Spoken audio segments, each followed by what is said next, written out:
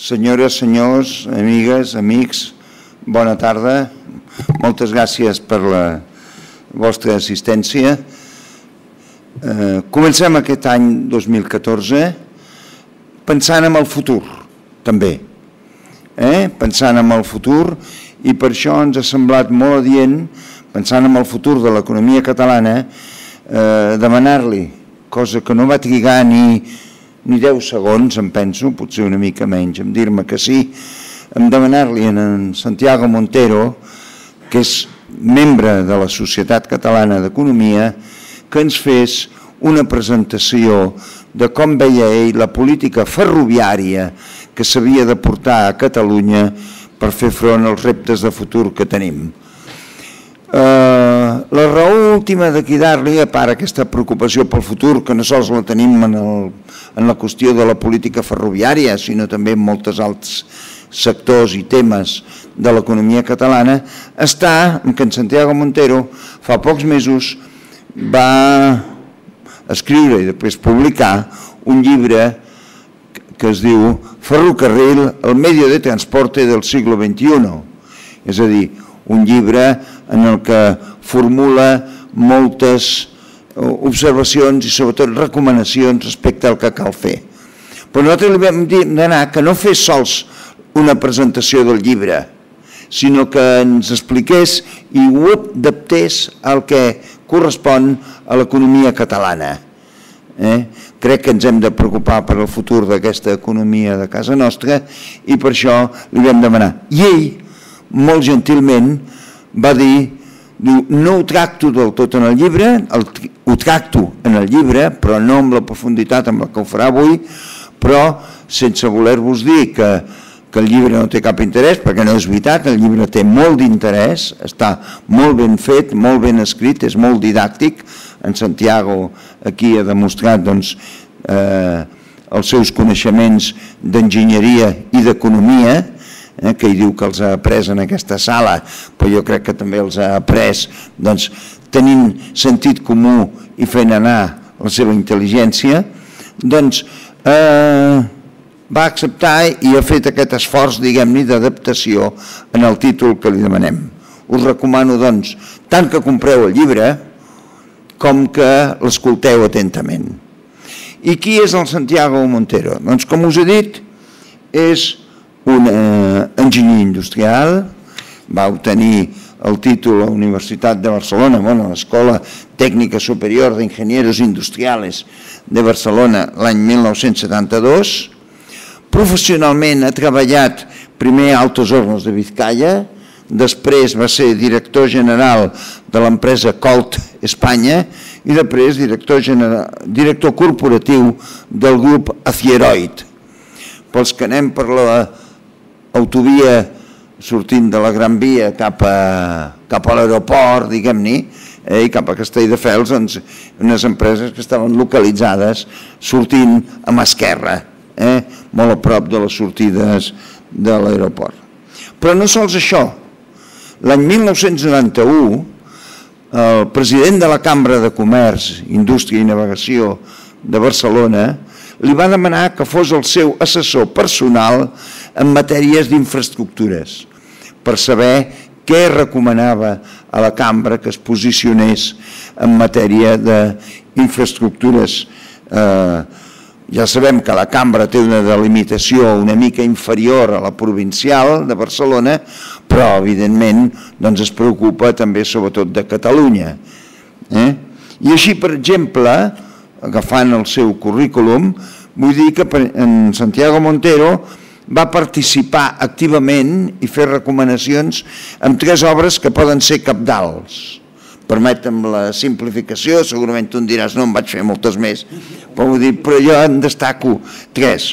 Un, l'estratègia de canvi de localització de Fira de Barcelona. Eh? Estava col·lapsada a Montjuïc, doncs ha l'estratègia de canvi de Fira de Barcelona. Un altre, el desviament del riu Llobregat. Eh? El desbloquejar el desviament del riu Llobregat per permetre doncs, disposar doncs, d'unes majors ampliacions del port i de l'aeroport. Després va fer també molts estudis ferroviaris en col·laboració amb, amb l'Albert Serratosa, persona que, que tots hem, molts hem conegut, i finalment també va fer el layout de l'ampliació de l'aeroport de Barcelona, diguem-ne el que és ara la Terminal 1. El pre-layout. El pre-layout, molt modest, eh, Santiago, perquè hi hagi un layout sempre després primer ha d'haver-hi un pre. Vull dir que en aquesta etapa va demostrar doncs, els seus coneixements i el seu interès per les infraestructures de Catalunya, encara que sobretot, com he dit, les de Barcelona. Ha publicat el llibre que us he dit i eh, també, i encara és, membre de l'Associació d'Enginyers Industrials de Catalunya. Bé, no sols membre de l'associació, és membre de la Junta des de fa prop de 10 anys. Eh? Amb això dono per presentat en Santiago Montero i li demano doncs, que ens parli doncs, d'aquest tema que em sembla que té un títol molt bonic. Tenim la política ferroviària dient al nostre territori i a la població i, si no, diguem-ho d'una altra manera, què hem de fer per tenir la política ferroviària dient al territori i a la població de Catalunya. Moltes gràcies, Santiago, per estar aquí i endavant. Gràcies a vosaltres, gràcies a l'Institut d'Estudis Catalans de la secció d'Economia i gràcies a tots vosaltres per haver vingut aquí. Ah, ah, o apreta el botó. Sí. Ara em sentireu, no? Em sentiu? No, no, a mi, parla, parla. Sentiu ara? Ara ja sí. Val. Moltes gràcies a l'Institut d'Estudis Catalans de la secció d'Economia i a tots vosaltres per estar aquí. Eh, per mi és una cosa de molt respecte tenir avui l'ocasió de parlar-vos perquè en aquesta sala jo he fet d'alumne moltes vegades, he tingut molts professors que m'han ensenyat i avui em sento com si em anessin a passar examen. Però eh, confiant en la vostra benevolència, permeteu-me pues, que eh, ja vagi directament a l'assumpte perquè m'agradaria poder parlar de bastantes coses.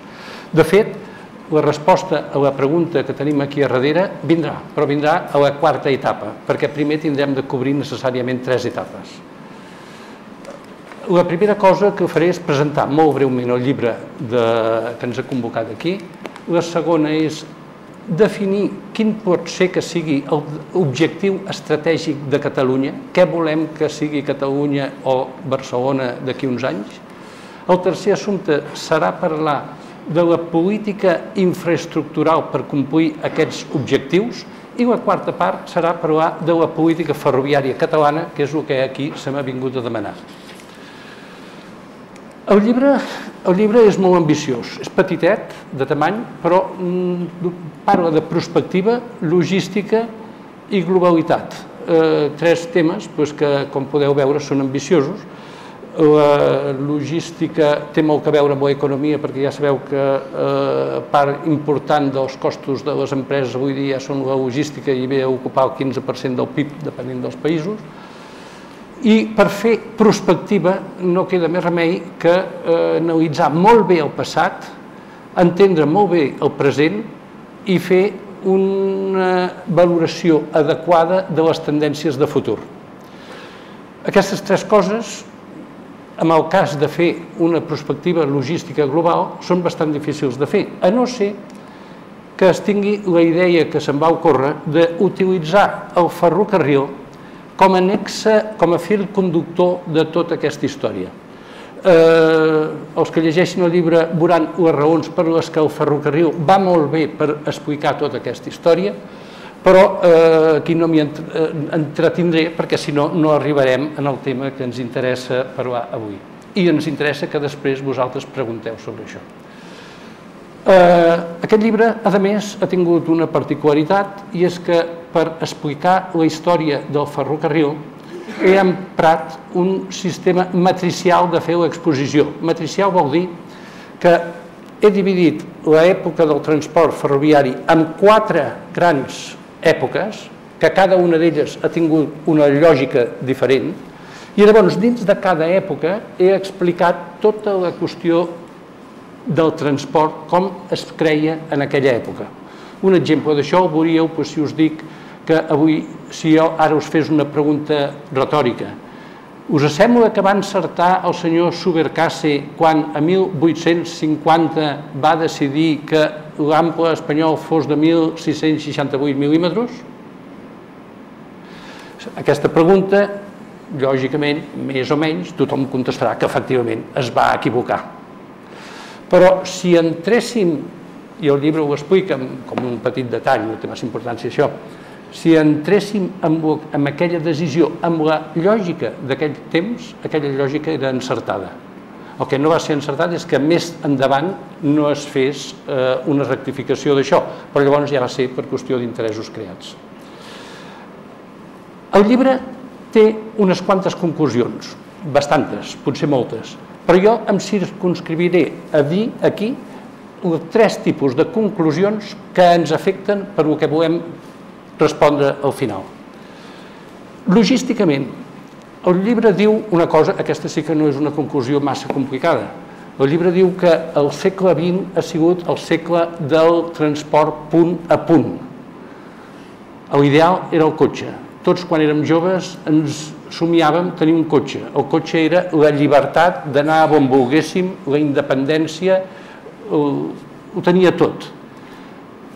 Però el, cicle, el segle XXI, probablement, o no probablement, amb tota seguretat, ja no ens podrem permetre el luxe d'anar els transports de les empreses de punt a punt amb un camió, ni nosaltres podem anar avui a fer un viatge de visitar alguna persona o algun client anant de punt a punt.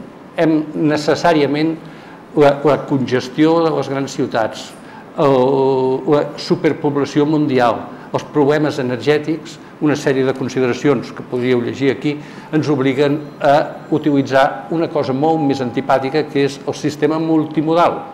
Multimodal vol dir que agafem diversos Mm, mitjans de transport per poder mm, fer tot el recorregut.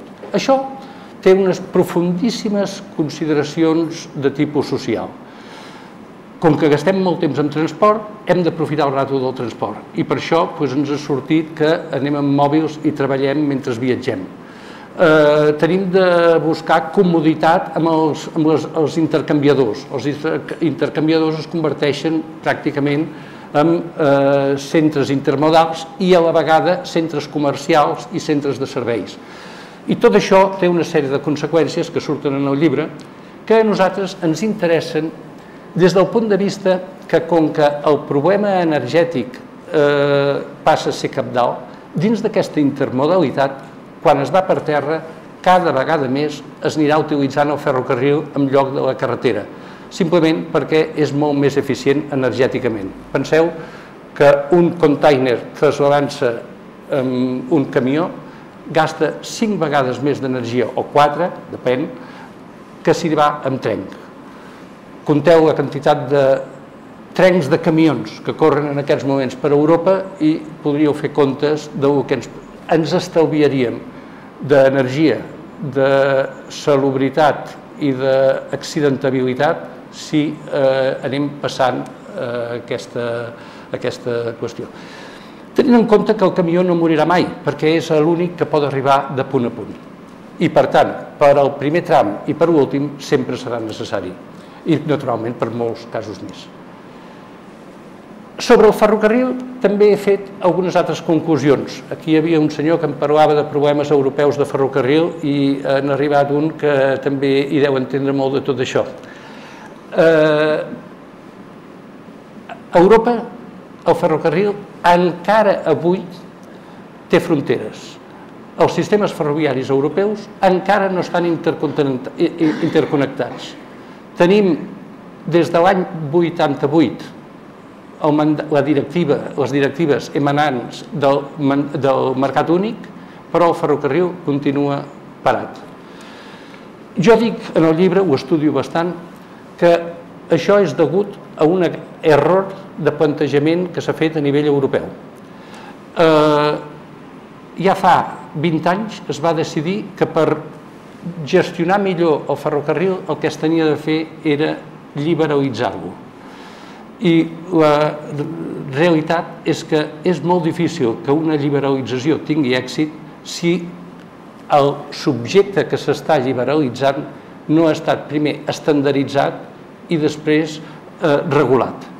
Quan tenim una estandardització que encara no existeix al ferrocarril, el ferrocarril continua sent un mercat en el que els clients són cautius dels industrials perquè els industrials els hi venen un producte que no està estandarditzat i que la reposició i els canvis depenen encara del propi fabricant.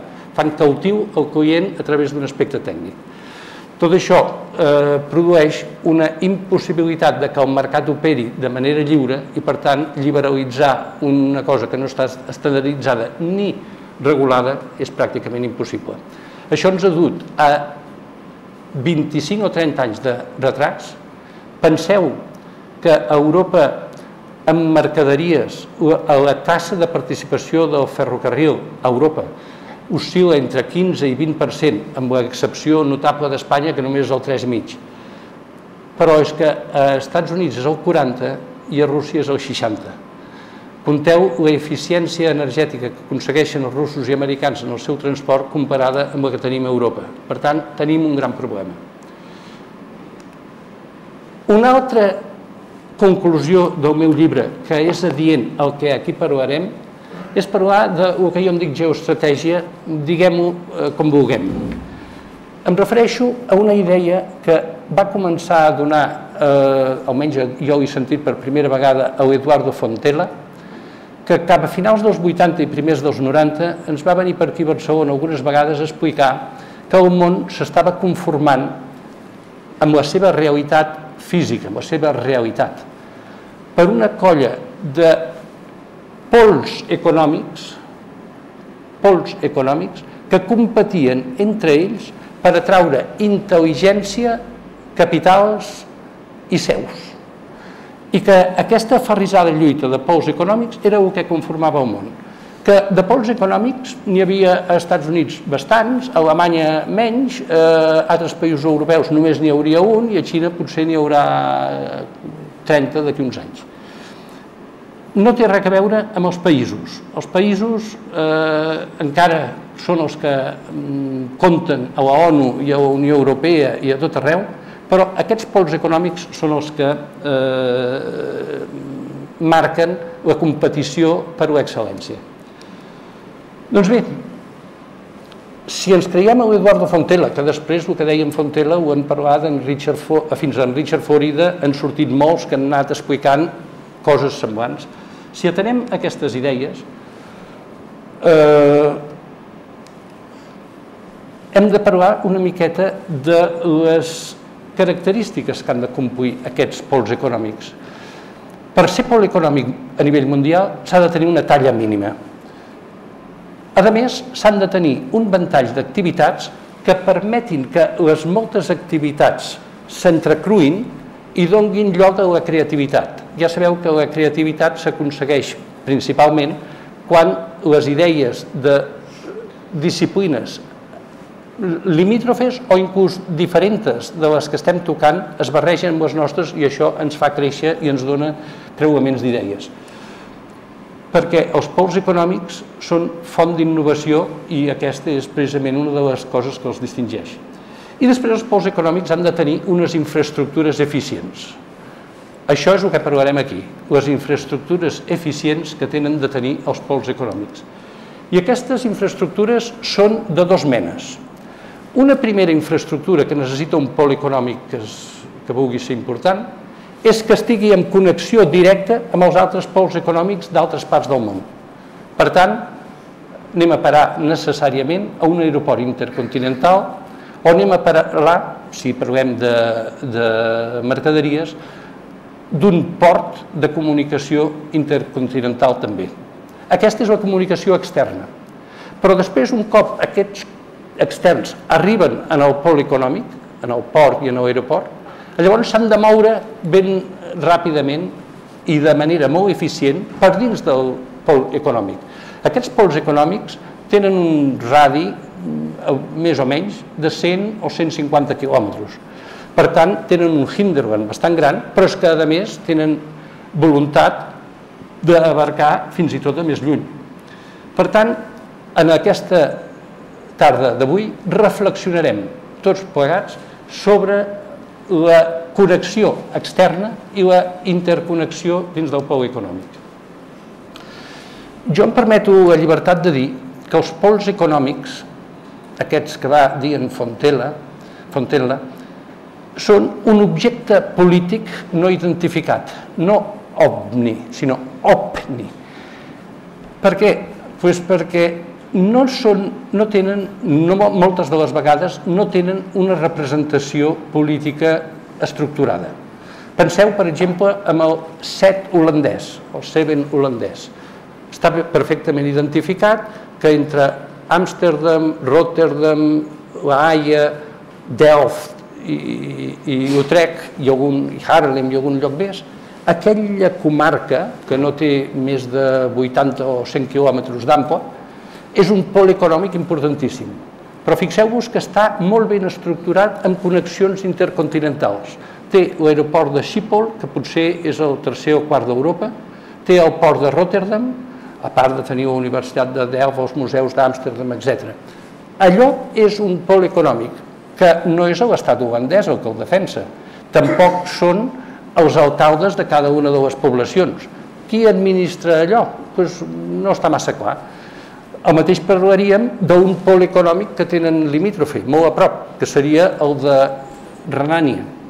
Si anem des de Bonn i Colònia fins a Dortmund i Düsseldorf, tota aquella, tota aquella petita àrea doncs, forma un pol econòmic que aquest no està tan ben estructurat des del punt de vista de la comunicació externa, perquè té dos aeroports que malauradament per ells cap dels dos acaba de donar la talla. Ja comencem a parlar de talles eh, mínimes el de Düsseldorf i el de, i el de Colònia són aeroports que, que, que estan en una talla que no, no us hi permet tenir suficient nombre d'aportació de viatgers en aquell sí per poder fer flatar avions que vagin eh, a 8.000 quilòmetres de distància i plens. Per tant, ja veiem que els pols econòmics no estan ben estructurats i probablement una de les disfuncions que té el món avui dia és que aquests pols econòmics que són els que fan la vida real no estan ben representats políticament. Això es portaria a moltes discussions, però ho he portat aquí, i ho he parlat aquí perquè és que es dona la casualitat, i amb això avanço idees, que Catalunya és un pol econòmic formidable, formidable, extraordinàriament clar. Aquí no hi ha, no hi ha, no hi ha fronteres. Dic que Catalunya és un pol econòmic perquè des de Barcelona a tota Catalunya hi ha un radi de 100, 130, 150 quilòmetres i aquí és on viuen els 7 milions de persones. Després ve el no-res. El no-res, en tots els respectes, vull dir que els Pirineus estan molt poc poblats, per l'est els Monegros estan molt poc poblats i pel sud, a la zona de les muntanyes de Besseig, tampoc. És a dir, que tal com va dir en el seu moment en Pierre Vilar i en Pau Vila, Catalunya, eh, sense donar-nos en compte, és com una illa.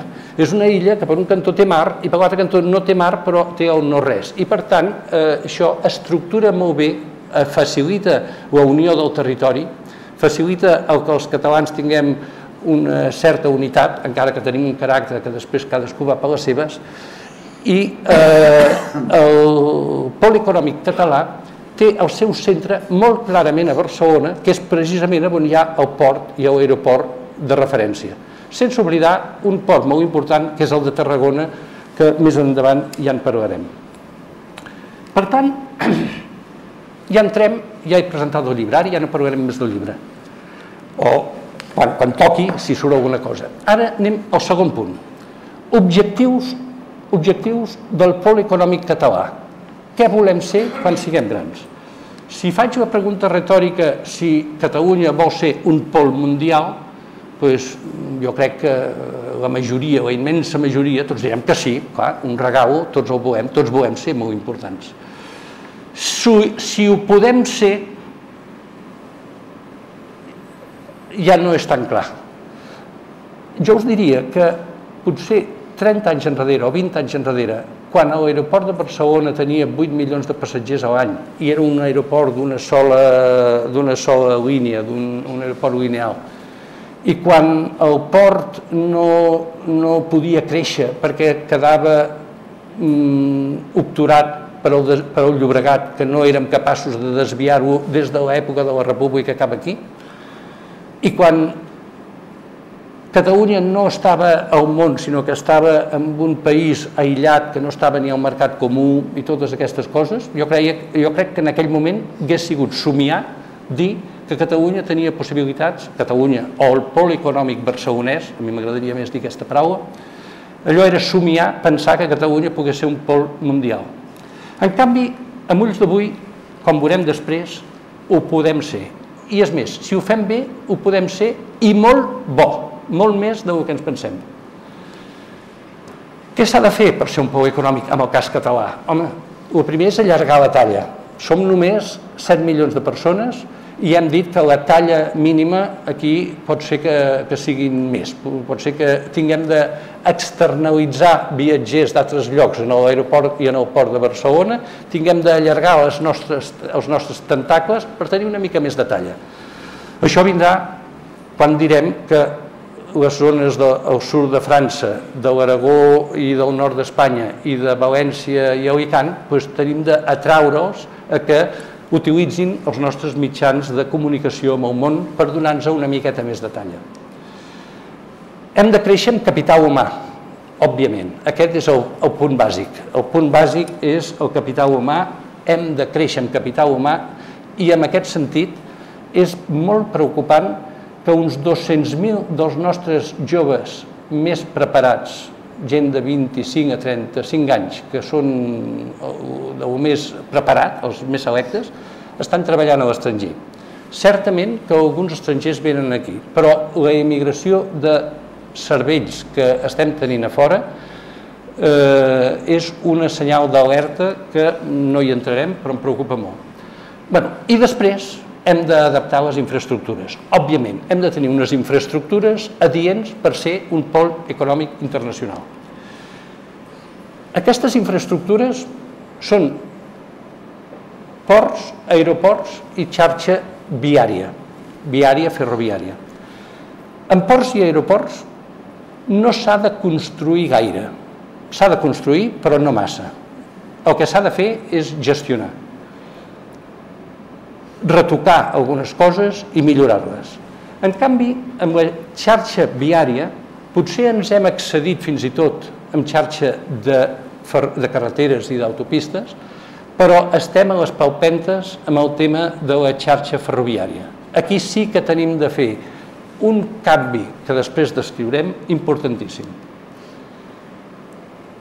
Per tant, assenyalo ja com a una conclusió ràpida que hem de gestionar bé els ports de Tarragona i, i, i Barcelona, hem d'acabar, i ara explicarem com, a l'aeroport del Prat, i hem de redissenyar la xarxa ferroviària. Anem per l'aeroport.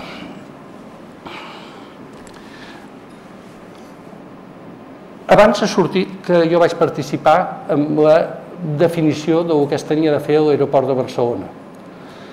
Eh, L'any 97, 96, 97, 98, l'aeroport de Barcelona era un aeroport provincià. Vivíem d'una cosa que no ens en donàvem compte. Vivíem de que a Madrid, a Barajas estava col·lapsat, era abans de l'ampliació, i no tenien slots. Slots són les tandes per deixar passar horàriament els, els avions. I com que Barajas no tenia prou slots, AENA va decidir que Barcelona fos el mini-hub d'Ibèria per a Europa. I aquí teníem unes bones connexions, especialment amb Alemanya i amb Europa, i això és el que ens donava vidilla. Però, com que es veia venir una ampliació de barajes que s'ompliria suficientment de pistes com per no necessitar externalitzar els seus avions, ja es veia venir que Barcelona quedaria un mort eh, no teníem l'umbral crític mínim de viatgers que es necessita per flatar avions grans. O sigui, érem un aeroport de rodalies, per dir-ho d'alguna manera. Però eh, això era un inconvenient per ser, per ser un aeroport hub, lògicament. Però per ser un aeroport hub es necessita una segona condició, i és que les companyies aèries es sentin còmodes en l'aeroport. Quan arriben les companyies aèries a l'aeroport, el que volen és deixar-lo de seguida. L'avió ha d'estar poc temps a terra i molt temps volant, perquè si no es perden diners. I llavors el que volen les companyies, el que volen més, és un aeroport que els hi asseguri molt poc temps d'estar a terra. I per això és necessari, a més d'altres coses, que el, la terminal estigui entre dues pistes, que tinguem dues pistes i la terminal al mig. Quan tenim aquesta disposició és quan el temps de rodadura es redueix i, a més, aquesta terminal, que necessàriament està oberta per, les quatre, per, per totes les cares, té interconnexió d'aire per totes les cares i, en conseqüència, els intercanvis de maletes i de viatgers que hi ha per dins van més ràpid, que no pas quan tenim una terminal longitudinal amb la que els, eh, eh, els pacients, anava a dir, que els eh, viatgers entren per un cantó i els avions surten per l'altre cantó, la terminal que teníem en aquella època. Doncs bé, per ser un hub es necessita una terminal entre pistes i construïda amb les condicions arquitectòniques que us acabo de descriure. Però també per ser un aeroport hub gros, es necessita guanyar dimensió i no s'ha de fer fàstics el, eh, el low cost. No vull parlar de low cost perquè aquest és un tema que, que m'entusiasma i em portaria a parlar de coses que ens desviaríem del que venim a parlar aquí. Però ja avui s'ha vist que els aeroports no es divideixen, com 10 anys enrere es creia, amb els aeroports de connexió i els aeroports de low cost. El low cost s'està imposant però no és que s'estigui imposant, és que està empaltant o està hibridificant en els, a les companyies de connexions. Cada vegada més les companyies de connexions tenen d'agafar algun dels atributs del low cost per reduir, baixos, per reduir el seu, les seves, eh, els seus preus i cada vegada els low cost es donen compte que s'han excedit amb la seva eh, exigència de cara al viatger i que els hi han de donar alguna comoditat més que els fa eh, acostar-se a agafar algun tret distintiu de les empreses de connexions. De tal manera que avui diríem que des del low cost a les connexions hi ha una gradació i un terreny del mig que es va omplint i que el mercat va regulant. En conseqüència, un aeroport que vulgui ser numerós, voluminós i hub necessita també tenir una pota de low cost. Però, ara ve el més interessant, per això ho posaré en, eh, en vermell més... Eh, en, llavors, que es necessita un equilibri entre el low cost i connexions. Un aeroport que vulgui ser intercontinental ha de treballar les 24 hores del dia els 365 dies de l'any.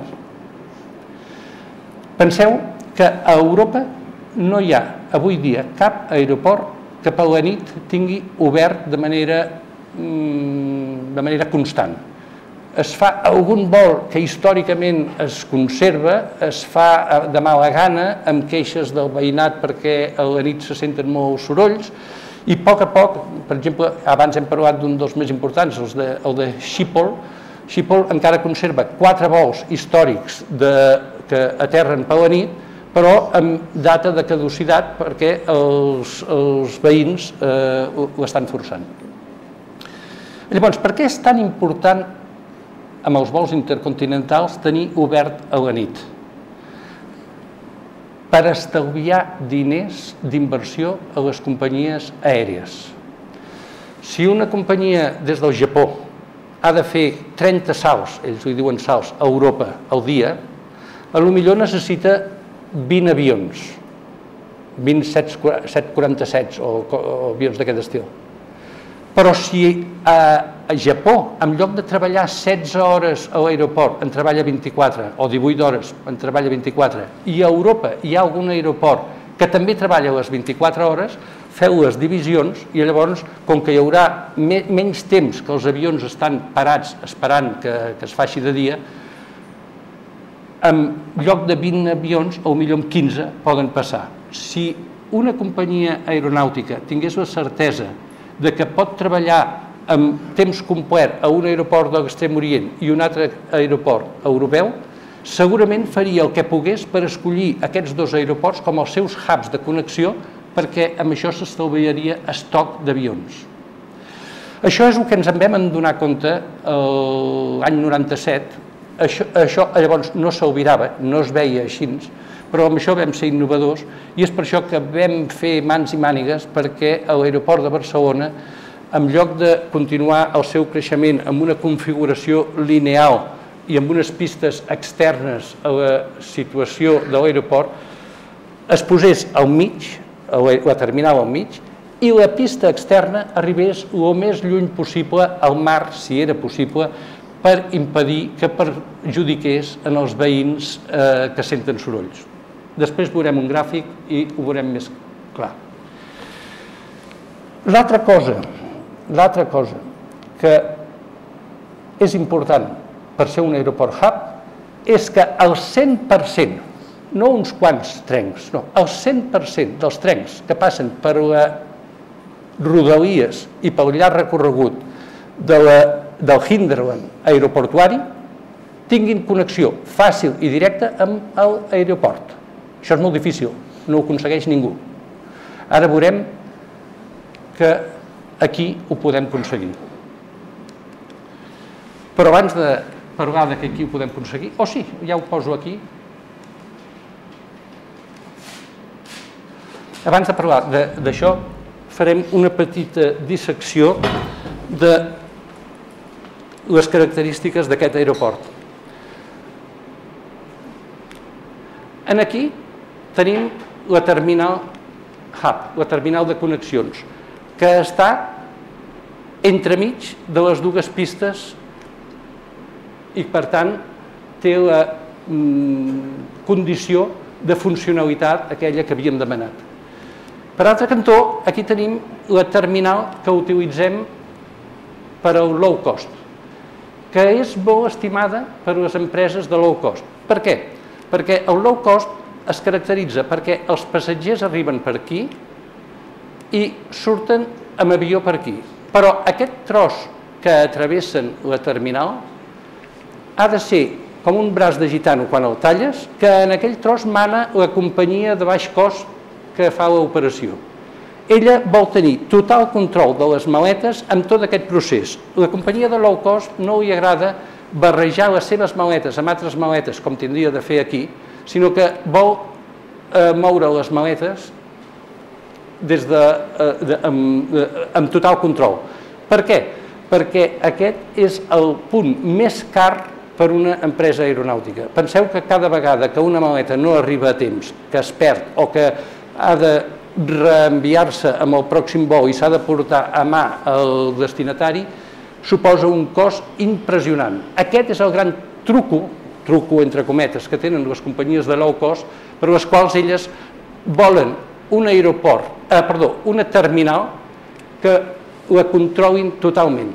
Doncs veieu aquí un aeroport que té el layout adequat per satisfer les necessitats de les companyies de, de, de, de connexió i de les companyies de low cost. Però no s'acaben aquí les avantatges d'aquest aeroport.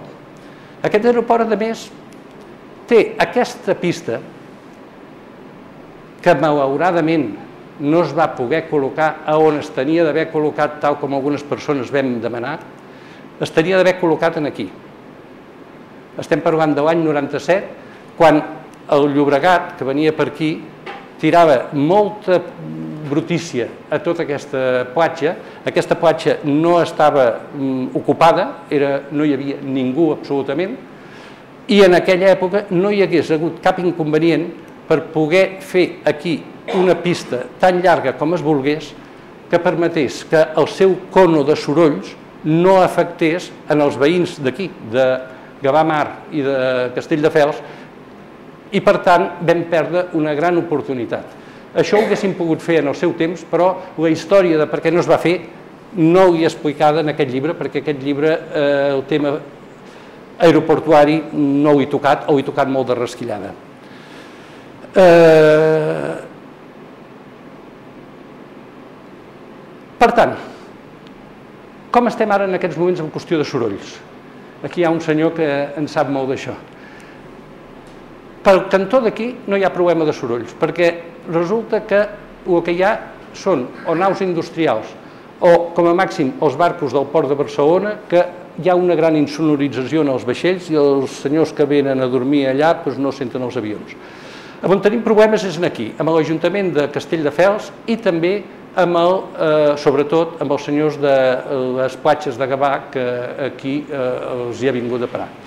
S'ha de dir una bestiesa, que em sap molt greu dir-ho públicament, és que aquestes, aquestes urbanitzacions d'aquí, algunes ja s'havien fet antigament, però les darreres es van aprovar l'any 98.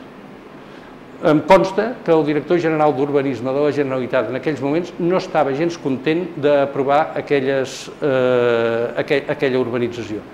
I la història de per què es va aprovar pues, és una cosa que no és gens eh, engrescadora per parlar de, de les bondats del nostre país. Però en qualsevol cas, en qualsevol cas, el disbarat ja està fet i ara aquests senyors, amb tota raó, es queixen. Quines solucions hi han? N'hi ha una que ja l'avanço, que consistiria en que aquesta pista, bueno, aquesta pista, una, eh, defectes d'aquest aeroport, anem a parlar de defectes, perquè no tots són virtuts. Hi ha un defecte que va néixer amb ell i que no hem pogut evitar, i és que en aquí s'ha posat la part tècnica de l'aeroport, en tant que la part logística s'ha posat en aquí. Vostès em diran, i per què si, aquí, si en aquesta zona tenim la ZAU i tenim tota la logística ferroviària, per què no posem la logística, els paquets que arriben, el, el, el, els materials fitosanitaris, els aliments que, aliments que van a Mercabarna, molts d'ells? Doncs per què no posem en aquí la part eh, de, eh, de mercaderies? Això en el pre-layout estava així. Eh, però després quan es va fer, bueno, va haver-hi un sidral, com podeu imaginar, impressionant, d'interferències de tota mena i tal, i aquesta interferència que semblava la més petita, al final va ser la més grossa, perquè resulta que els senyors de, de, de Correus no es van voler moure d'aquí i, i, i tenien un jefe molt fort que no es movia d'aquí, i al final es van posar les mercaderies aquí. Però el principal defecte que té aquest aeroport és que aquesta pista té 2.600 metres de longitud i això no pot fer permetre que aquí despeguin avions grans.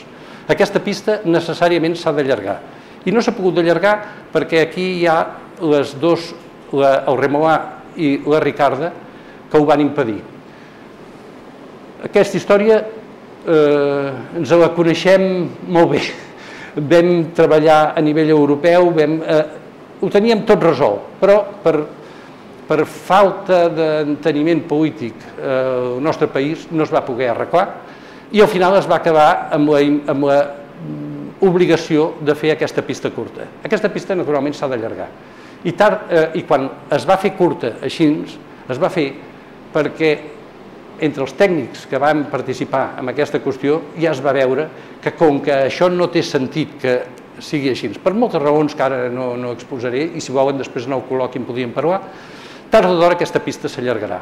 Ara, com s'allargarà? S'allargarà fins aquí i fins aquí, o què farem? Doncs pues mirin, ha sortit eh, un, un estudi mm, amb el que jo no he participat, l'ha fet un, l'Ajuntament de, de Castelldefels amb uns arquitectes que no coneixo, que han trobat una solució enginyosa i que aparentment no té gaires contraindicacions, que consisteix en que aquesta pista no sigui paral·lela a l'anterior, sinó que es torci una mica, que surti d'aquí i que acabi aquí de tal manera que el recorregut que fan els avions per aquí ja s'escapa de la petjada eh, de soroll dels habitants d'aquesta zona, que són els que més es, es perjudiquen, i per aquest camí jo crec que podem trobar una bona solució.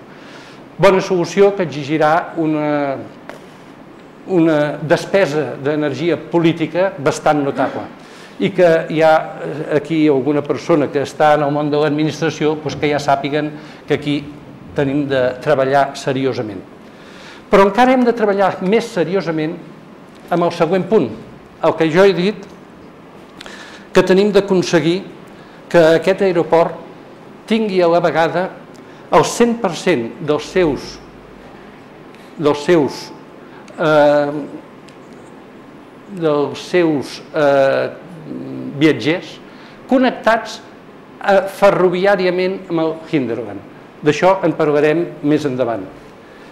Ara continuo amb l'ordre amb el que estan posades aquí les mm, explicacions i molt breument, això sí que no val la pena parlar-ne ni no perdre gaire temps perquè hi ha temps més important endavant.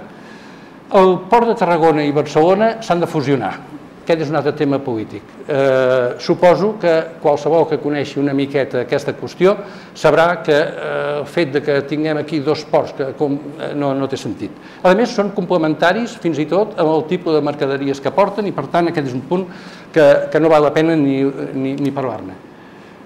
El mateix que el, la, el hinderland ferroviari que han de tenir l'han de consensuar i l'han de fer conjuntament s'han de definir les terminals dels ports eh, a terra, on posem les terminals per enviar la mercaderia cap al nord, cap al sud i cap a l'oest. No cal construir gaire. Amb el que hem construït el port de Barcelona i el port de, de Tarragona ja ho tenim tot bastant ben engiponat. I hem de posar l'accent en la gestió portuària, què és, si no, el fusionar aquests dos ports? Gestió i aconseguir el control dels preus, el control de, de, de les tarifes, vull dir, i aconseguir pues, posar els fitosanitaris on els toca. Totes aquestes qüestions són les que ens fan anar malament en el tema portuari. I, òbviament, cohesionar el port amb el ferrocarril, que aquest és el punt clau que parlarem a la quarta part, que no sé quant temps em queda. 20 minuts. Val. Val. Eh, llavors anem al terrestre, viari i ferroviari. De viari ja en tenim prou. De carreteres no dic que no se n'hagin de fer, s'han de millorar algunes coses, però mm, poques coses tindríem de fer. On hem de posar l'accent és el ferrocarril. S'ha de parlar de la política del ferrocarril, tema importantíssim que deixo per més endavant. S'ha d'aplicar el criteri de Giugiaro a la nova xarxa ferroviària catalana. Bé, algú de vostès sap qui és en Giugiaro? El dels cotxes, el que dissenya cotxes. És el propietari d'Ital Design i dissenya cotxes. Va venir fa bastants anys, ja fa 20 o 30 anys a Barcelona, i va donar una conferència, al final de la qual algú li va preguntar, escolti'm, vostè és el que fa aquests Ferraris, Lamborghinis i tot això, quan vostè es posa a treballar i agafa la plana de paper, per on comença? Què és el primer que fa? I l'home va contestar que el primer que feia era un punt. Agafava, perdó, carai, això, això, aquí ha passat alguna cosa. Va dir, agafo un punt, aquest punt d'aquí, i aquí començo a, començo a dibuixar. Perquè aquest punt és l'embrague, i és el primer que dibuixo. Coi, per què ho fa? Diu, perquè l'embrague em connecta dos sistemes espaials. El, la cabina on hi ha els passatgers i el motor. Llavors, quan tinc l'embrague posat, me'n vaig que a la cabina el propietari, el que m'ha encarregat del treball, m'ha dit que vol un esportiu amb, amb, amb, amb seients baixos o alts, vol 4 o 2, vol unes característiques determinades i llavors doncs, d'allà em surt el, el peu del conductor, l'assiento, el canvi de marxes, el, el tablier, el volant, després faig el seient del costat, el seient de darrere i construeixo, d'acord amb les especificacions que m'han demanat, aquell habitacle. I per l'altre cantó, doncs, el motor allà em surt l'arbre de lleves, després el cigüanyal, allà poso un motor, poso les especificacions que m'ha demanat el propietari, quan tinc ja aquestes especificacions posades, llavors hi poso el vestidor perquè aguanti, poso les rodes i, i busco el centre de gravetat, eh, vaig veient els pesos com queden equilibrats i quan ja tinc tot això fet, quan ja ho tinc tot resolt, l'última cosa que faig és dibuixar la carrosseria que em tapa el cotxe. Per què explico això? Perquè les societats occidentals, quan parlen de trens, acostumen a parlar de carrosseries i no d'embragues.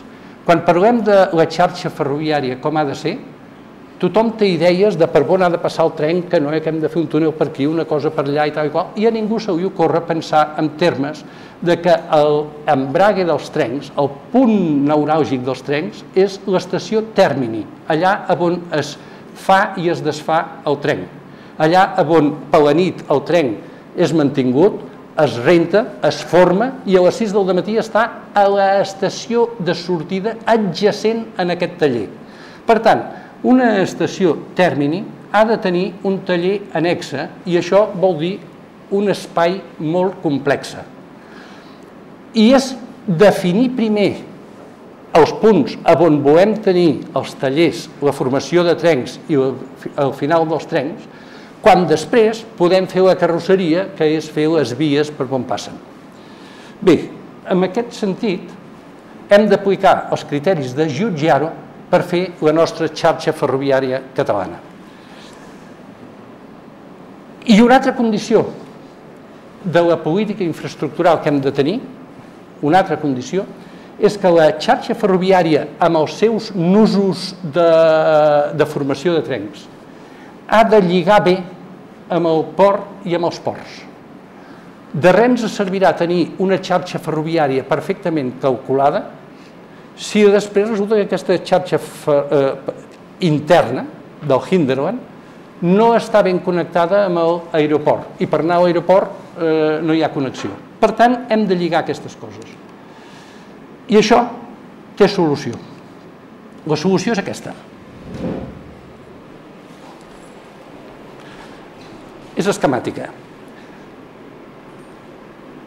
Aquí veuran vostès que hi ha dos estacions nodals. La de la Sagrera, que s'està construint ara, i la segona que tindríem de fer aquí al costat de l'aeroport, en el Prat. Algú em dirà, aquí hi ha algun expert ferroviari que en sap molt més que jo, algú em dirà, dos, tres, una, 50 estacions eh, nodals a Catalunya. Eh, això es pot discutir. Eh, L'estació nodal i passant, que mm, serà la Sagrera, permetrà que des d'aquí es formin trens perquè al costat, això que veiem aquí, hi ha els tallers de macossa, del maquinista que li, li fan els treballs de manteniment el més elemental almenys.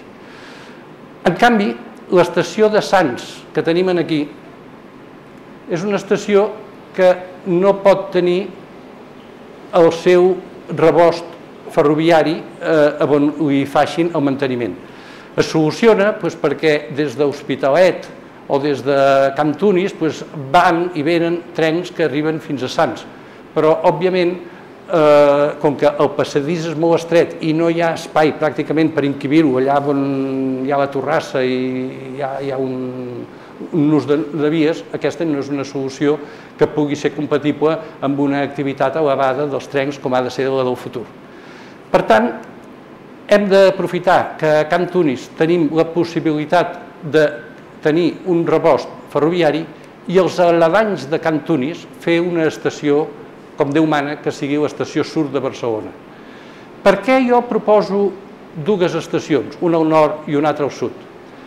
Això no m'ho he inventat, això és una metodologia que està molt en boga a Alemanya, que a Alemanya l'han emprat molt, és més complicat a Alemanya perquè a vegades fan tres, una, eh, fan triangles o fan inclús quadrilàters, però per poc que puguin acostumen a tenir-ne als dos extrems de la ciutat dues estacions Fixeu-vos que Madrid ha adoptat aquest criteri també. Madrid, tenint quatre eixos per treballar, perquè està al mig del territori, ha adoptat estació de Chamartina a dalt i estació d'Atotxa a baix.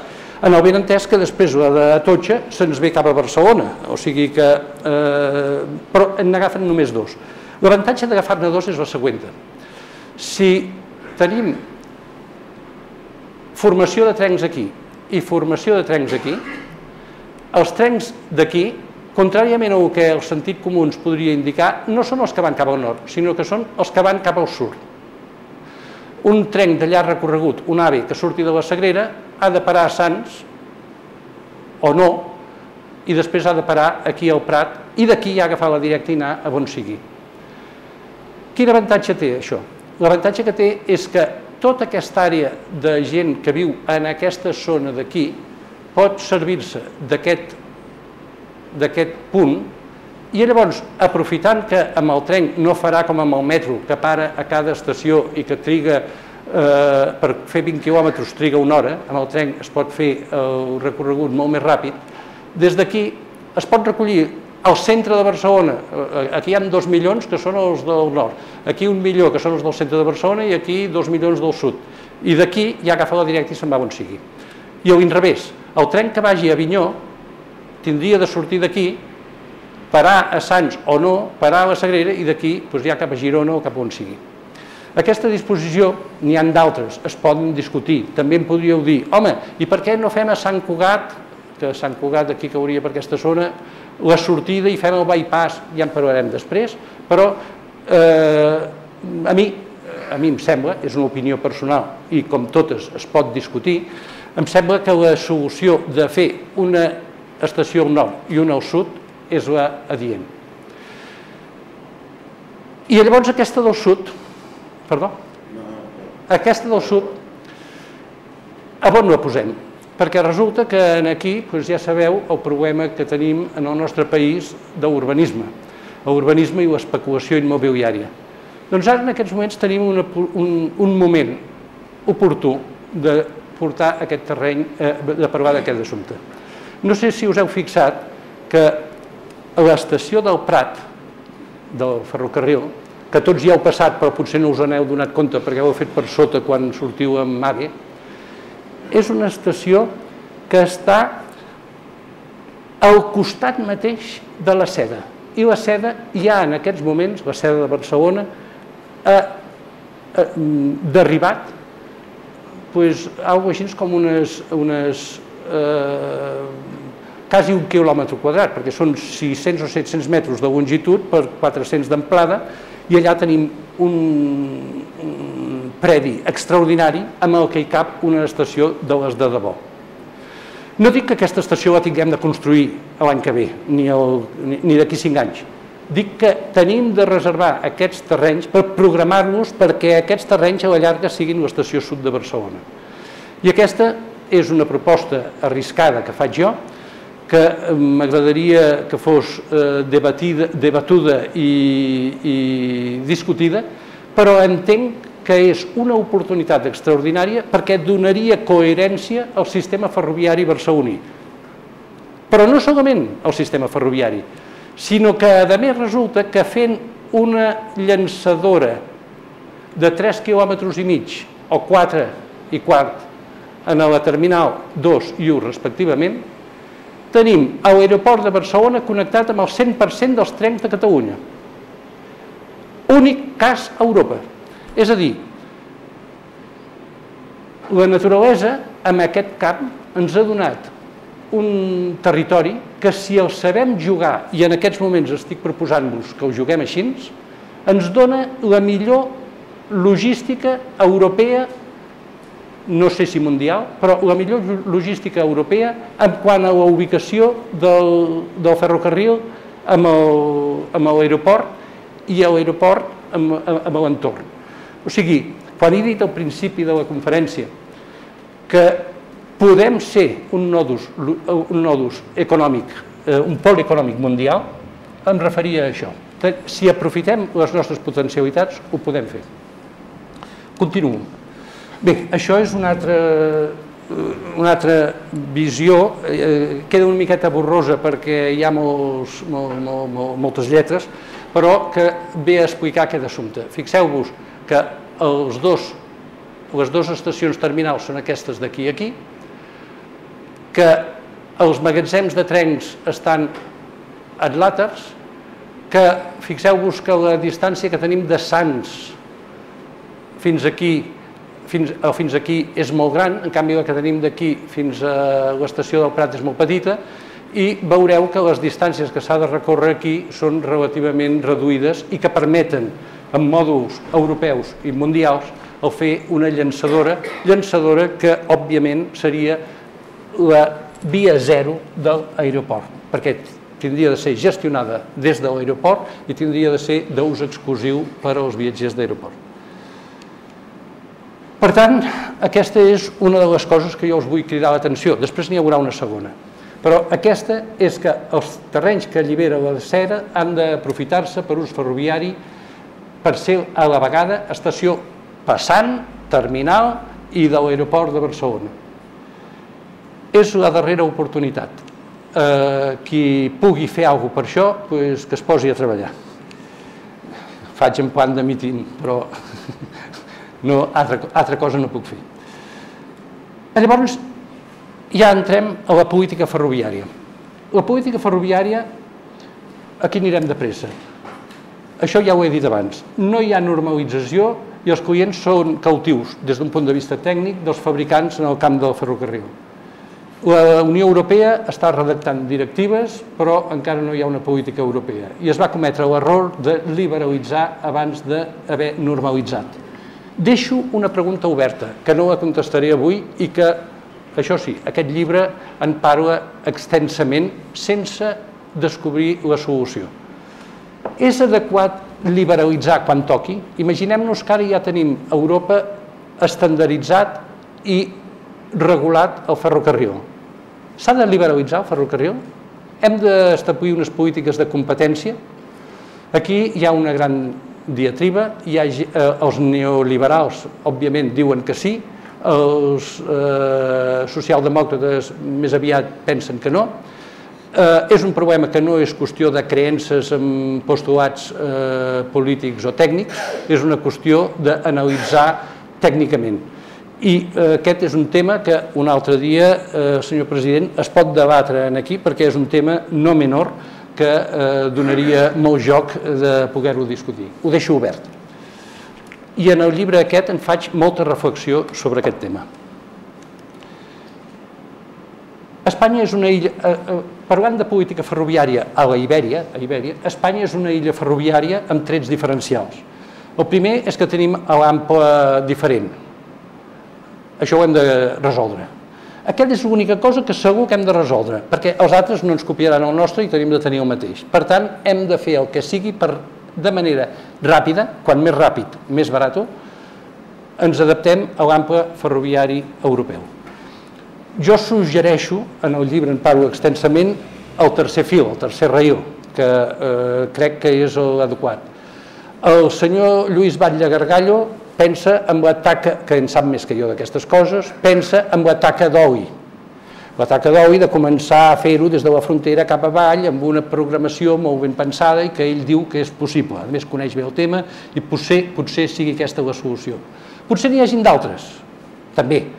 No importa qui, quina sigui la solució bona, però el que no podem fer és estar un dia més sense tots els que tenen idees sobre aquest particular, que les exposin, que es discuteixin, que s'aprovin i es converteixin en un pla. No podem anar improvisant. Eh, per tant, eh, sigui la solució la que sigui, aquest és un tema que s'ha d'abordar ja. Un altre tret diferencial que té Espanya és que té la hipertròfia de l'AVE. Ens hem d'estar tots els diners construint AVEs. Això ho puc dir amb, amb rigor, perquè eh, l'època aquella que parlàvem de l'any 90, 90 a la Càmera de Comerç de Barcelona, ho vaig dir. Ho vaig dir quan eh, no tothom dels que ara parlen d'aquest assumpte ho, ho defensaven, perquè llavors es veia com modernitat, anar a Europa i mil coses més, i hi havia una campanya de premsa que, que va enganyar tot el país. Eh, ten, si bé tenim hipertròfia amb l'AVE, Tenim anèmia amb mercaderies, per tant aquí és on hem de posar-hi els, els duros. Eh, això passa principalment per les terminals intermodals d'escanvi de, de camió eh, ferrocarril. Després en parlarem d'això. Espanya té dues artèries bàsiques, el corredor atlàntic i el mediterrà, i això és una illa unida al continent per dos puntos. El cas d'Inglaterra només en té un, però pràcticament ve a ser el mateix. O sigui, tenim un sistema molt independent. Necessitem un regulador espanyol. I això és un dels èxits que he tingut en aquest llibre.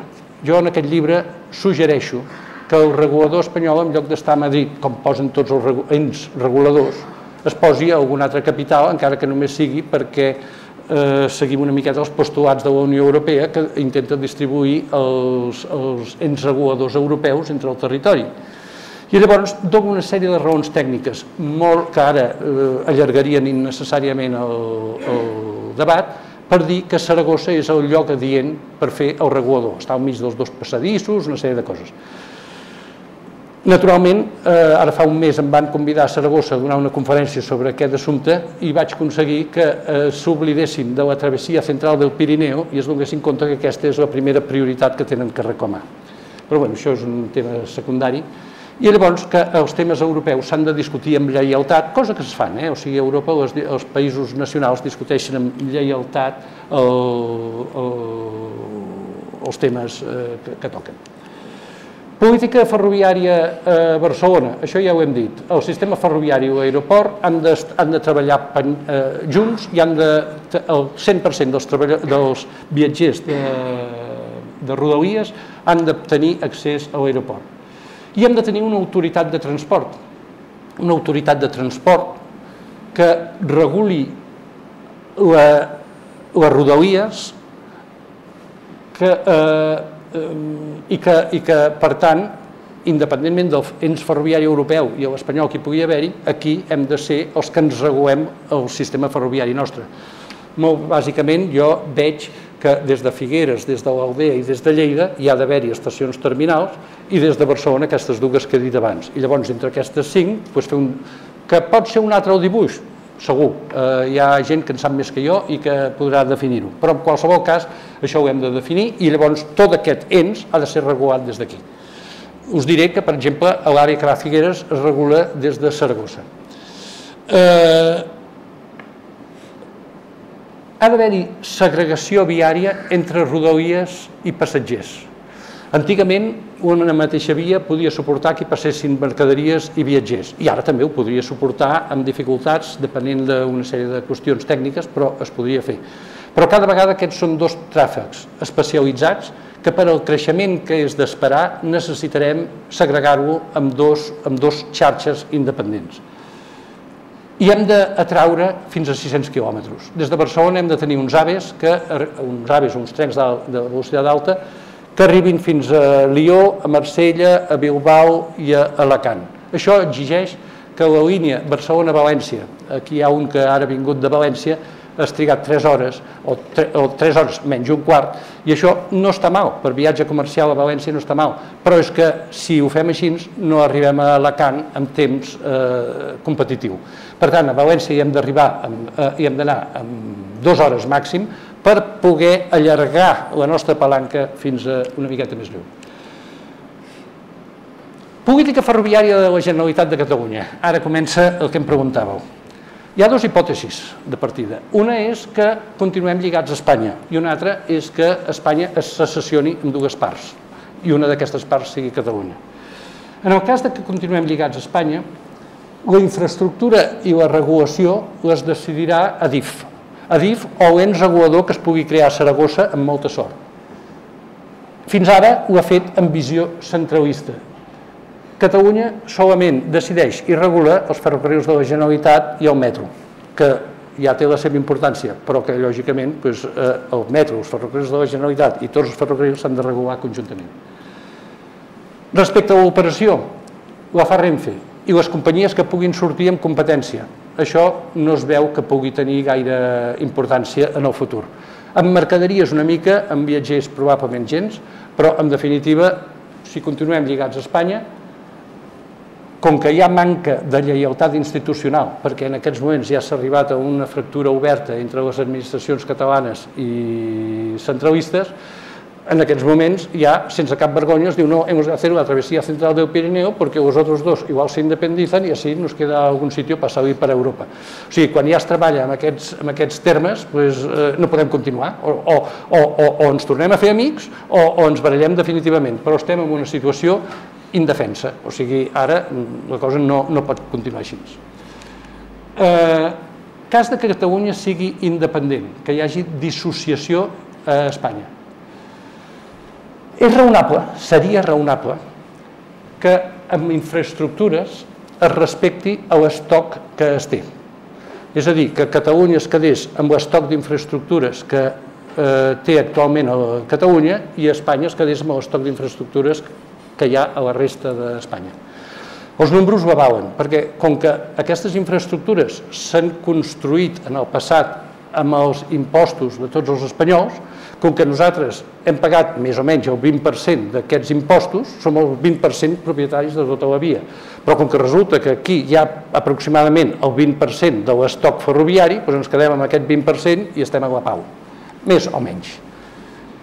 Però cuidado, Adif és una societat anònima. Demà mateix pot haver-hi una venda mm, de part d'Adif amb, un, amb un operador o amb qui sigui.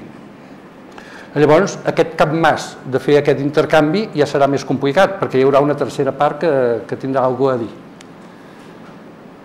Amb operadors. Amb operadors seria raonable fer exactament el mateix, però aquí la cosa ja és més, més, més complicada, perquè és possible, jo he posat probable, no, això de probable ho retiro. Dic, és possible, o hi ha la possibilitat, que l'empresa Renfe un dia de mal gènit trasladi el material rodant que hi ha a Catalunya a la resta d'Espanya i aquí ens quedem sense, sense un sol tren. Clar que llavors algú diu que eh, això és el que està esperant la CNCF per venir aquí i abarcar tot aquest territori. En qualsevol cas, aquesta és la, la, la qüestió que hi ha. Eh, lògicament, eh, jo no crec que les coses arribin a aquests extrems, però ja que se'm demana que faci una prognosi del que pot passar, doncs aquí hi ha algunes quantes idees. Infraestructures per viatgers. bueno, doncs això ja ho he explicat abans i m'hi extès una mica. Copiar un model holandès, que és el que he dit abans, l'ample de via s'ha de canviar, dissenyar els nodes de la xarxa segons els, les idees d'en Giugiaro, regular les rodalies integrant els ferrocarrils de la Generalitat de Catalunya, no el dia següent, sinó fent una planificació que en determinats casos, si alguna, algun trajecte que serveix Renfe fos més adequat que s'enllacés amb alguna de les vies de ferrocarrils de la Generalitat, doncs es fes. Jo no, eh, no me la coneixo, tenim companys que, que ho coneixen eh, de memòria i que sobre això doncs, tenen idees molt més clares. Però, en definitiva, el, la regulació s'ha de fer global s'ha de fer el llarg recorregut de València, Saragossa i Avinyó, que ja enteneu que el, el coll d'Ampolla està de, de, de Saragossa a la Rioja i a, i a, de Saragossa a Bilbao ara hi ha 3 hores i mitja. Això no pot ser, això ha de ser molt més ràpid perquè és que si no triguem una hora i mitja a arribar a Saragossa però després eh, a Bilbao en traguem 5. Això no, no és comercial. A València el problema el tenim entre, entre Eh, eh, Tarragona i Castelló en el tram aquell que va de, ja m'ho direu, d'Hospitalet a, a, a Salou. I el cas del nord el tenim amb que els francesos amb tota, eh, ho estan fent amb molta més discreció, però no tenen intenció de fer de molt alta velocitat el tros que va des de Perpinyà fins a Montpellier. Es conformen amb la velocitat alta i això no ens és suficient a nosaltres. Aquí, a canvi de regalar-los la CNCF, els tindríem de dir que ens facin aquesta línia. Bé, eh, hi ha una singularitat, que és el cas de Barcelona-Toulouse, per Vic i per Puigcerdà. Això, si algú té interès, d'aquí 15 dies, el dia 15 de febrer, si mal no recordo, es fa una jornada a Manlleu que es parlarà d'aquest assumpte, m'han convidat a anar-hi i, i, i allà parlarem extensament. Aquí hi ha molts assumptes interessants a parlar, però eh, excedeixen el límit que ens hem posat d'aquí de temps. I finalment, doncs clar, hem de connectar la xarxa amb l'aeroport a través del nord sud, del nord sud. Política ferroviària d'infraestructures de mercaderies com anem de temps? Poquet, ja, 5 minuts. Va, doncs aquí, aquí acabarem. Les infraestructures de mercaderies, doncs el mateix, adoptar el model irlandès amb l'ample internacional, amb els estàndards internacionals, amb els aparcaderos de longitud suficients, en fi, una sèrie de qüestions tècniques que no ens entretindrem, però aquí ve un tema que ja hem de resoldre ràpidament nosaltres i és que de la mateixa manera que jo he dit que el meu parer, amb el cas dels viatgers. Necessitem la Sagrera i el Prat com les dues estacions nodals bàsiques. En el cas de les mercaderies, aquí la cosa eh, és més complicada, perquè mm, hem estat de no fer res durant molts anys, perquè durant molts anys s'han fet aquí els, les estacions logístiques de tot Catalunya simplement per camions, sense preocupar-se d'unir-les amb el ferrocarril, doncs hem passat d'aquest extrem a agafar-nos les presses i ara tot ho volem unir amb el ferrocarril i a tot arreu doncs, es vol fer una arribada de ferrocarril. Clar, aquí hi ha uns umbrals mínims que s'han de respectar, perquè penseu que una terminal on els camions i els ferrocarrils i, eh, eh, eh, portin els containers i aquests containers s'han de carregar al ferrocarril no és cosa fàcil. D'entrada, les platges de vies han de ser lliures de catenàries per sobre, perquè el, els containers es carreguen per dalt. Per tant, s'han d'arrossegar amb una màquina dièsel, però després ha de ser substituïda per una elèctrica. Per tant, ja veieu que hi ha una certa complexitat, es necessiten grans dimensions, es necessita mm, flatar trens que vagin a Hannover o, a, o, o on sigui, cosa que exigeix unes grans longituds de tren, s'han de tenir tamanys crítics notables per poder... és un tema logístic. Eh, en aquest sentit, jo estic veient que hi ha molts projectes de terminals relativament petites quan realment potser seria interessant pensar en menys, però terminals molt més grans. Eh, és un tema que ens hem de plantejar, és un tema de política territorial que s'ha de plantejar i resoldre ràpid eh, el que ja hem parlat abans, que Tarragona i Barcelona han d'unificar les seves terminals ferroviàries i situar els nodes, també tenint les idees d'en Jutjaro, que això és el que primer defineix les coses, però després fer les línies i les terminals per l'interior. Això que poso aquí. Aquest és un tema que hem de reservar. És una proposta meva, eh? no vull dir que això sigui doctrina, això cadascú tindrà la seva opinió.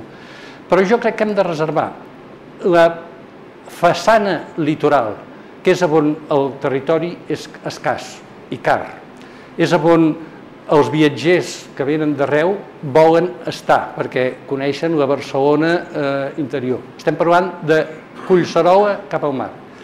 Aquí és on hem de fer que el sistema ferroviari per viatgers sigui eficaç. En canvi, com que no tenim suficient espai, perquè inclús si comparéssiu les hectàrees que tenim a la SAL de Barcelona amb les que hi ha a Anvers o a Rotterdam, estem en dimensions de 10 i de 15 a 1, o sigui, estem en unes dimensions petitíssimes.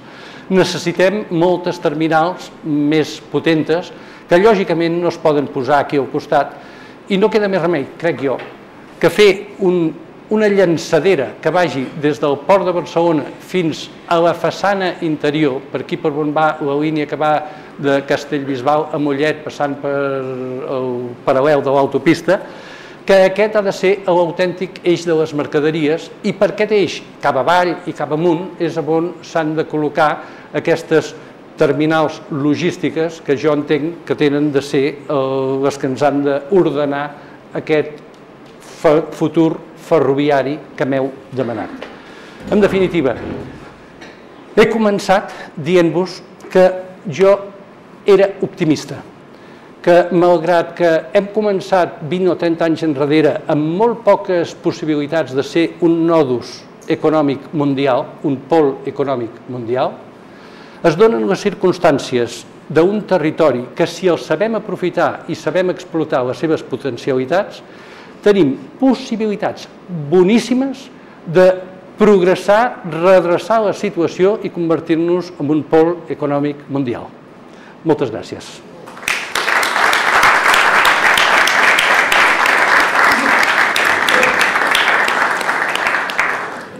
I arribat a temps? Molt bé, molt bé. Moltes gràcies.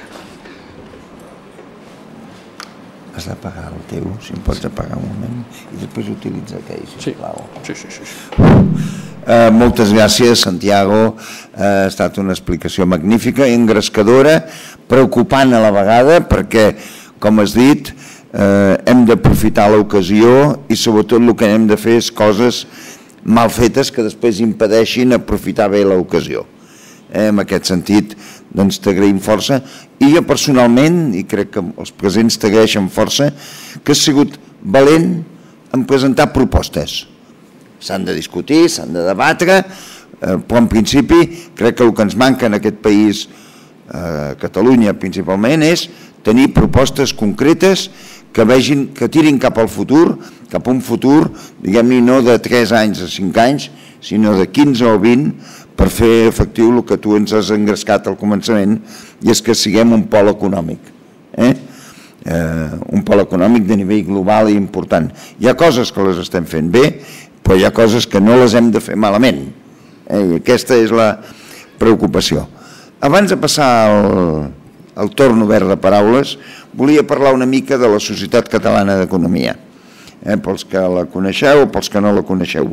A fora trobareu en una taula sortint a l'esquerra dos paperets, un és un informe sobre la situació del que venim fent, perquè ho sapigueu, la propera activitat que tindrem serà aquí, no tenim precisada la data perquè el, el, el conferenciant previst m'ha dit que no li anava bé un dia i ens hem de posar d'acord sobre quin dia, no li anava bé el 17 de febrer que era el programat, i en principi estem veient si el 24 de febrer o el 3 de març. Segurament una d'aquestes dues dates serà. La conferència, en lloc de mirar cap al futur, aquesta vegada també, i donat l'any amb el que estem, ja sabeu que em refereixo, eh, vol mirar el passat i vol mirar tres segles enrere. I la preocupació que vam tenir la Junta de Govern de la, de la societat és veure com era Catalunya a l'any 1714, però com era l'economia catalana, com estava, i després saber l'entrada de les tropes de Felip V, la, els canvis polítics que es van produir, com van afectar a l'economia catalana. D'això ens en parlarà en Jaume Torres i Elias. És un historiador eh, especialitzat bastant en aspectes econòmics, no és economista, és historiador, i, però li hem demanat que ens presenti com estava l'economia catalana i com va canviar l'any 1714, als voltants, diguem-ne. Jo li vaig dir que ens parlés des del Tractat dels Pirineus fins al 1750. El Tractat dels Pirineus, recordeu, 1659, doncs fins cap a la meitat del segle XVIII, eh? centrant-nos doncs, en aquest període. Us diré el títol, el títol de la conferència és L'economia catalana abans i després del 1714. Posa punt, continuïtat i canvi. O sigui que pot ser eh, engrescador veure com algunes coses es mantenien però altres canviaven. Ja ens ho explicarà i esteu tots convidats a venir-hi. Després seguirem fent altres activitats, eh, pensant en el futur, de l'economia catalana i pensant també en la commemoració d'aquest any 2014. I al costat d'aquest paper en trobareu un altre sobre, eh, per fer-vos soci de la Societat Catalana d'Economia, que és una entitat doncs, que eh, us agraïm que vingueu, però també ens agradaria ampliar el nostre número de socis, sobretot pels que esteu preocupats per l'economia catalana. Dit això, no vull dir res més de la societat, passem al debat, era només un parèntesi, jo li demano al senyor d'allà darrere si té un micròfon inalàmbric, el té? Eh? Ara el va buscar, bueno, per posar... Eh? Sabeu que aquí hi ha una norma i és el que fa una pregunta o una intervenció, té un dret, que és el de parlar, però té un deure, i és el de passar el micròfon en el següent que ha demanat la paraula. Eh? O sigui, ara veig que no sé si el té, ara el busca, ja el té. Doncs la paraula és vostra, estem a la vostra disposició. Qui vol començar? Doncs jo, no, Paco, només em permetem fer una o dues i sobretot fes preguntes, no fem una intervenció, perquè si no, amb els 20 minuts que ens queden, voldríem que hi participés el màxim de persones. Gràcies. A veure, eh, a mi em sembla molt bé eh, l'anàlisi del territori que has fet, però escolta, has oblidat de que tenim a davant de la costa de Barcelona un mar fantàstic per fer illes com fan els de eh, aquells d'Abu Dhabi o de no sé on, per fer passar carreteres, per fer passar túnels, i això està ple a Europa, i nosaltres no hem fet absolutament res amb tot aquest territori que tenim a davant, bueno, territori, digue-li com vulguis. I avui dia, escolta, amb la tecnologia que hi ha, doncs amb 15.000 milions fem, fem aquí un, un, un tinglado que, escolta, que seria per, per, per guanyar espai que, que no tenim, perquè estem aquí amb els 90 i pico de quilòmetres quadrats que tenim que no anem en lloc, primera. Segona, que està molt bé parlar de ferrocarrils, però clar, per això el que necessitaríem és una política industrial.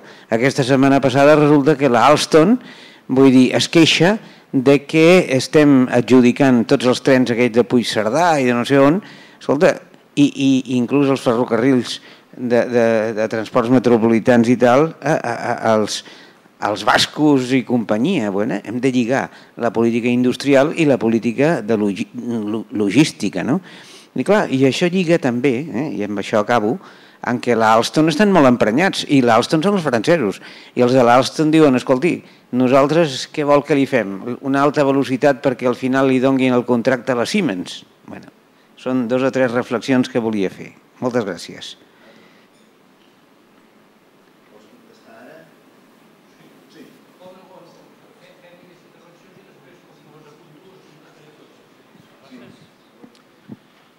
Hola.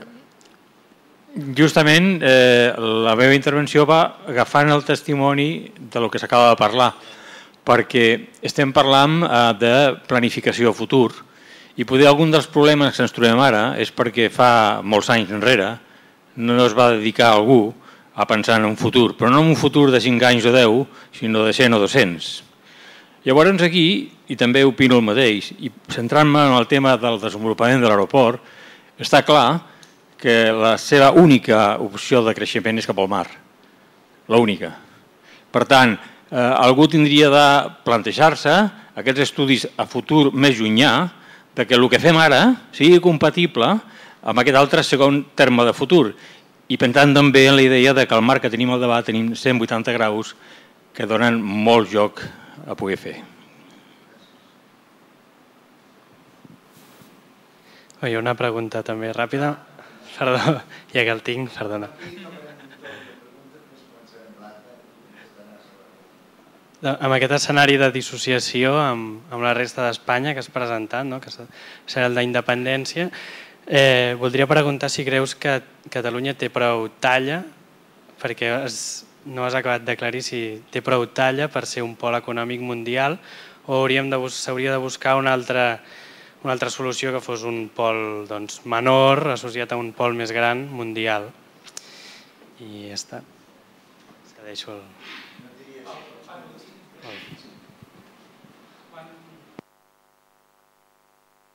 Quan el Paco ha fet la primera pregunta eh, he pensat en, en l'altra, en la que ha vingut del, del senyor que té darrere. Eh, jo no sóc, no soc sospitós d'anticonstructor al mar. Més aviat he patit la, la, mm, la llufa de que en, el, en una altra persona i jo, que vam ser els que vam proposar l'aeroport al mar l'any 97, ens van titllar de, de eh, agosarats, d'exagerats i de mil coses més. Eh, jo crec que eh, construir el mar mm, home, eh, és més car que fer-ho a terra i des de l'ego no, eh, no crec que aquestes exageracions que hem vist eh, als països dels Emirats Àrabs sigui un exemple de, de fer les coses bé.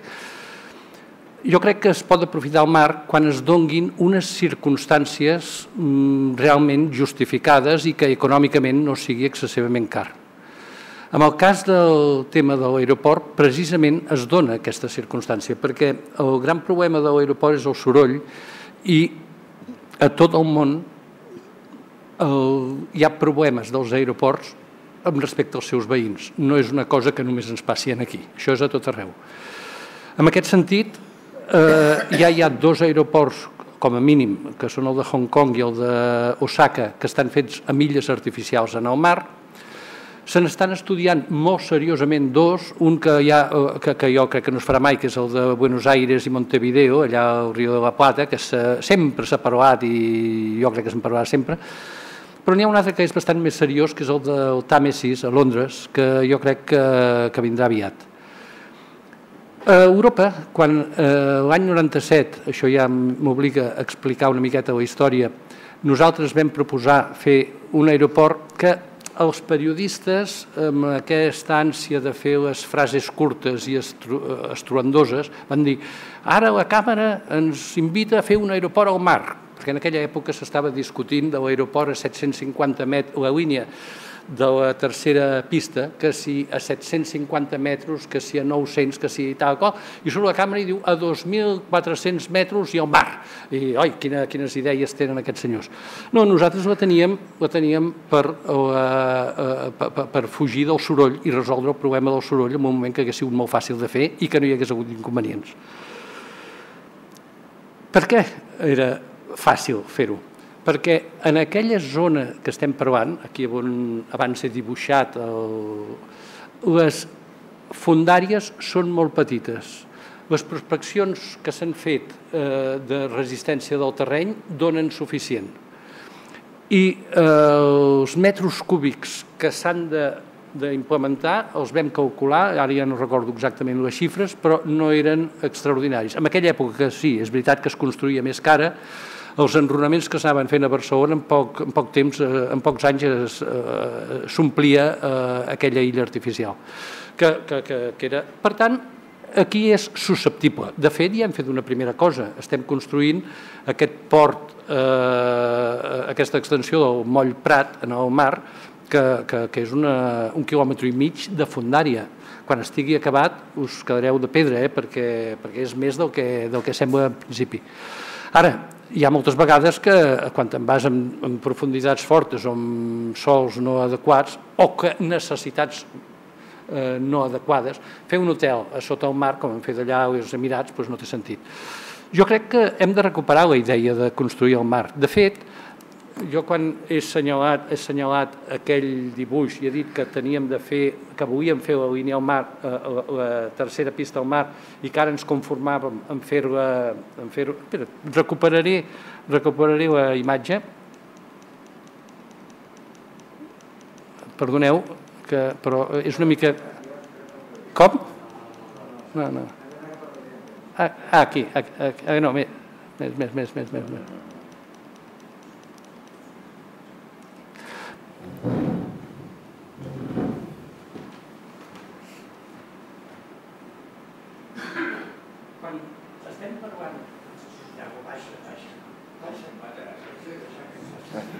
Cauràs. Quan estàvem parlant, quan estàvem parlant de fer una, una com aquesta, Ah. O el teu.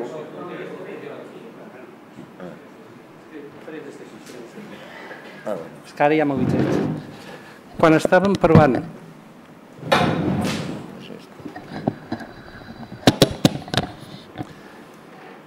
quan estàvem parlant de fer això, acabàvem invadint un tros de la cepa fins aquí. Això són uns 600 metres més de longitud per arribar fins aquí i també invadíem una miqueta de cepa en aquesta zona d'aquí per aconseguir una pista de 3.500 o 3.400 metres. Llavors, Eh, el Norman Ashford, ara ja no hi és, desgraciadament, però que era anys enrere el que portava el consultor de la Unió Europea per a aquests temes, el Norman Ashford estava d'acord en considerar que aquest aeroport era un sistema general sense alternativa. Sistema general sense alternativa vol dir, amb el seu llenguatge, que no tenim en tota Europa un altre aeroport que fàcilment sigui transformable en aeroport nocturn. I que quan un sistema general sense alternativa eh, ha d'afectar a una cepa, a una zona d'especial protecció de les aves, que en el seu moment va ser nomenada com a tal per la Generalitat el 88, però que el 92 va passar les competències a Brussel·les i és Brussel·les qui l'ha de desclassificar en aquests moments, que Brussel·les la desclassificaria sempre i quan hi haguessin solucions compensatòries. Aquí n'hi ha una molt clara de construir el mar. La solució compensatòria és que, encara que aquí no està dibuixat, tots vosaltres ja haureu vist que aquí surt, bueno, aquí, surt aquí, el, arribar al Llobregat, surt un, un, una construcció que entra a dins del mar eh, uns mil metres que canalitza el Llobregat i cap a la banda de la dreta és limítrofe amb el mar. Doncs bé, no hi ha gaires dificultats anar reomplint això de, de terres i guanyar unes quantes hectàrees en el mar que compensin les hectàrees que es perden aquí i aquestes hectàrees regalar-les a la cepa. Eh, he fet les comptes i surt, eh? o sigui que amb els metres quadrats que es poden guanyar per aquí es compensen i, i ja estem al cap del carrer. Una altra discussió seria explicar una miqueta l'origen de les tepes, perquè eh, això és una zona d'especial protecció de les aus que s'hi ha nidificat perquè aquí hi ha unes, eh, uns petits estanys naturals. I aquí hi ha un altre, que és el del remolà.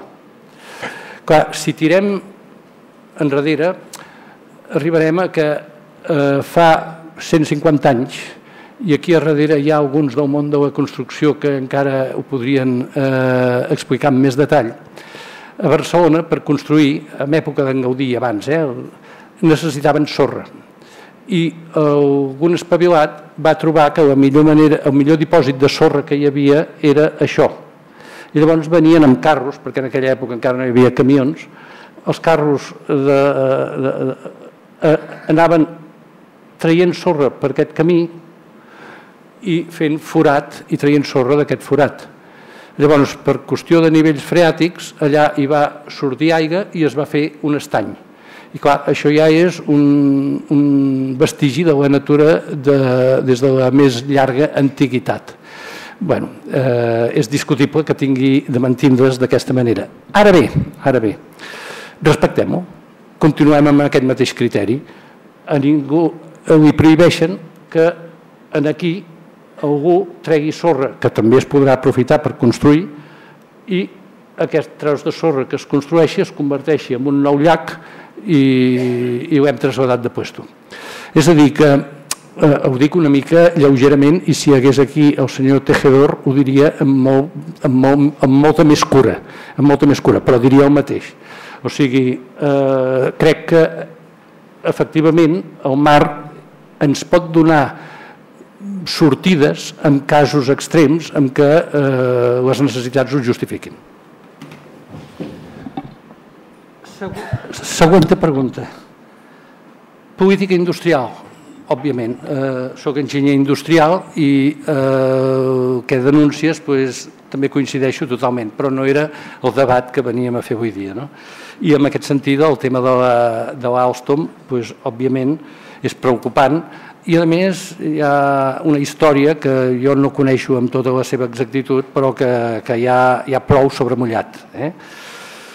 També haig de dir que, eh, mira, precisament l'empresa amb la que jo treballava eh, era del, la compradora d'Alstom. Alstom ara actualment és un 20% del grup Boigues.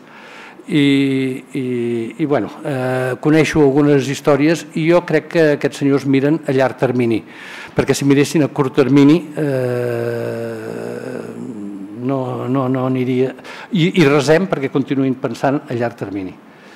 Després, la pregunta aquesta de si la talla de Barcelona és suficient o de, del pol econòmic català que té 7 milions d'habitants és suficient per ser un pol econòmic mundial. Posaré dos exemples. Hi ha un pol econòmic de 3 milions d'habitants que és Singapur i és un pol econòmic mundial. I n'hi ha un altre de 40 milions d'habitants que és México Distrito Federal o de 30 que eh, encara està una miqueta més enrere que nosaltres segons com. No?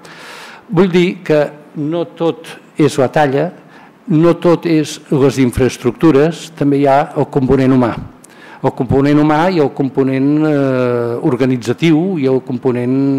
Per tant, nosaltres anem curts de talla, anem curts de talla, però també ens hem de mirar l'altre que he dit, curs de cap o no, i curs d'infraestructures o no. Tot el que les infraestructures puguin fer, tot el que la intel·ligència pugui fer i tot el que la talla pugui fer, benvingut serà. Però no és inconvenient amb 7 milions poder ser un pol econòmic. Ara, ja he dit mentre parlava que si anem a 200.000 expatriats d'alta capacitat joves per any, no per any no, per 4 o 5 anys, eh, ens espera un mal futur.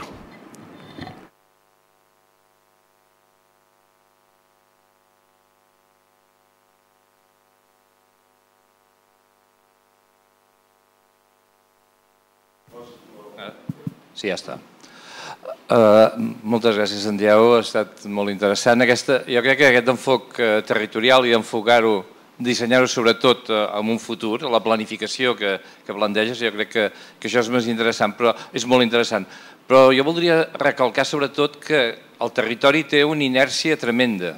És a dir, per una planificació i una execució en els, darrers, en els darrers anys, en els darrers 20 anys, en els darrers 30 anys, nosaltres ja tenim uns condicionants de futur enormes. És a dir, eh, la idea de que el, el transport de viatgers vagi per la costa i el transport de mercaderies vagi per l'interior, això en bona manera... No, tens raó, és a dir, a més ja està tot bastant dissenyat perquè sigui així. Una de les infraestructures més importants que s'ha fet en, aquests darrer, en l'últim decenni és la connexió entre el port de Barcelona i Castellbisbal amb una via exclusiva de, de mercaderies. Una plataforma doble que permet, eh, bueno, i que a més té el tercer carril ja incorporat, és a dir, que ja, ja, ja té l'ample UIC també a més de l'Ibèric. Per tant, eh, el, diríem, l'anada des, de, des de Cantunis i el port de Barcelona fins a Castellbisbal i després cap a França o cap a la resta d'Espanya, de, doncs això està assegurat en aquest sentit, eh, amb ample UIC fins a Castellbisbal i cap al nord. Cap al sud està ja licitat contractat i eh, eh, pràcticament adjudicat el tercer carril fins a Tarragona i nosaltres serem l'única comunitat autònoma, l'única eh, regió de moment que, que tindrà els dos ports, Tarragona i Barcelona, connectats eh, cap a Europa amb ample UIC. Per tant, això ens dona una, una potencialitat gran amb, amb el transport de mercaderies cap, cap a Europa. Aquí el problema no és la infraestructura, sinó més aviat la gestió la capacitat d'aconseguir càrregues suficients per omplir-ho de trens eh, que vagin cap a Europa. Eh, ara mateix estan passant de l'ordre d'uns eh, 15, entre 15 i 20 trens setmanals pel túnel d'ample UIC cap a França. Per tant, està dissenyat això perquè n'hi puguin passar un tren cada 3 minuts. Eh? Un tren cada 3 minuts. Tenim marge. Eh? Tenim molt marge, amb la infraestructura existent tenim molt marge perquè hi, càpiga tot. Eh, en relació al que deies, eh, per tant, en mercaderies jo crec que això eh, va bé, ho tenim ben orientat i el que hem de fer és fer-hi passar eh, trens, almenys des de Catalunya. Un altre problema és la connexió amb, amb, amb València, Alacant, el corredor mediterrani, que es anirà estenent i per tant fins a València segur que arribarà. L'altre tema són els dels viatgers. Els dels viatgers tu has proposat, proposa, eh, has proposat un node sud al Prat. Eh, aquí hi ha un problema físic. El, el Prat és una estació soterrada, una estació soterrada tant per rodalies com per alta velocitat. I per tant, el, el aquí construir-hi una, un, una, una excrescència, un, un taller al costat, no és en absolut fàcil. Eh? I per tant, aquí hi ha una dificultat objectiva.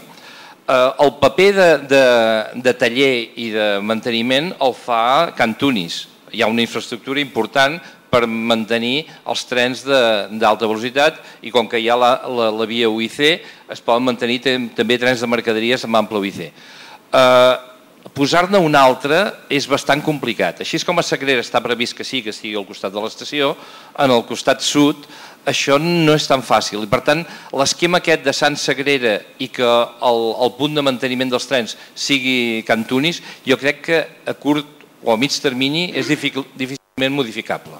Eh? Aquest és una, una, una cosa que volia assenyalar jo aquí. I després només assenyalar que Adif no és una SA, sinó que és una empresa pública del Ministeri i per tant estarà sotmesa eh, en el seu moment en cas de que, de que hi hagi efectivament eh, la separació de Catalunya doncs, en les negociacions corresponents eh, en el seu cas.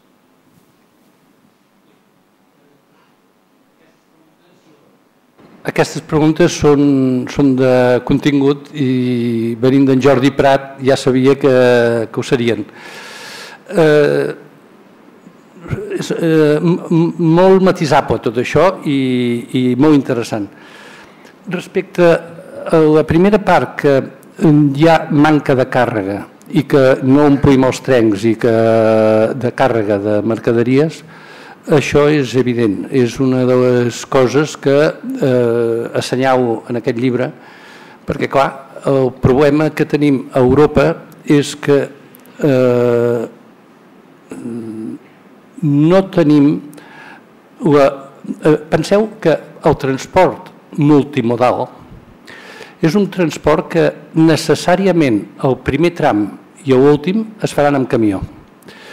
Llavors, si tenim un determinat tràfic que s'ha de portar a 500 quilòmetres o menys, ja comença a ser dubtosa l'oportunitat d'utilitzar camió, tren i camió, perquè a poc eh, malament que vagin les coses, primer es tindran de fer 150 quilòmetres amb camió, després se'n tindran de fer 300 amb tren i després 100 amb camió. Per això ja fem amb, amb camió tots, tots 500. Aquest assumpte és és palès a països com Bèlgica, Holanda eh, i, i, i algunes zones limítrofes de França i d'Alemanya. Si resulta que a l'arribar a la frontera has de canviar el tren o el conductor o els papers o la burocràcia o el fitosanitari, el que sigui, i hi ha eh, molts problemes inclús tècnics, o, per exemple, Alemanya i França tots sabem que eh, té un voltatge diferent de contínua per la via normal. Naturalment que els trens són bitensió, però bueno, es necessita ja que hi hagi un tren bitensió, no? Eh, i, I qui diu això, doncs, les 50.000 traves que hi ha. Tot això és el que està dificultant que a Europa no es facin trajectes llargs amb, amb tren, a Estats Units i a Rússia es fan trajectes de 3.000, de 2.000 quilòmetres amb tren eh, eh, eh, de, de càrrega i llavors naturalment utilitzen el tren perquè amb una mateixa càrrega fan servir el tren. Què hem de fer perquè la nostra economia utilitzi les, meva, les mateixes avantatges que els, que els americans i els russos i tinguem un transport més barat i eh, més ecològic i, més, i menys consumidor de combustibles fòssils i de petroli. Pues, senzillament regular el sistema ferroviari europeu de tal manera que sigui factible, fàcil, còmode i eh, tan còmode com a Rússia o als Estats Units anar de Barcelona a Hamburg o, o on sigui, el projecte Fermet en el fons.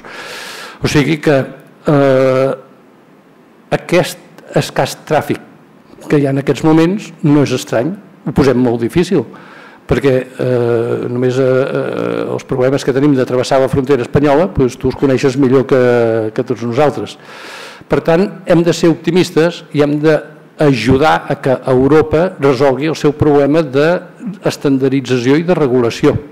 I aquesta serà la mare dels ous que impulsarà el ferrocarril, l'ús del ferrocarril i la racionalització de l'economia europea.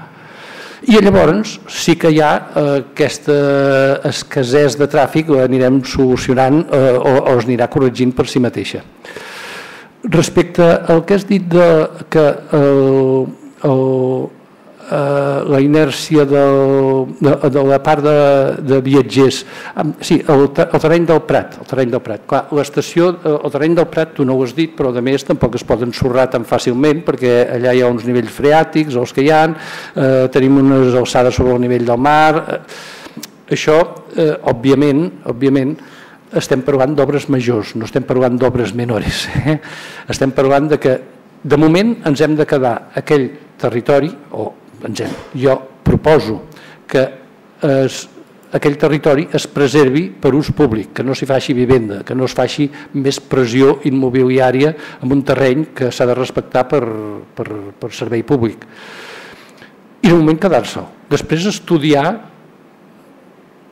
el, les inversions que s'han d'anar fent en el futur i es poden allargar en 30 anys. Xamartín encara està per fer, o sigui que, però tenen un projecte.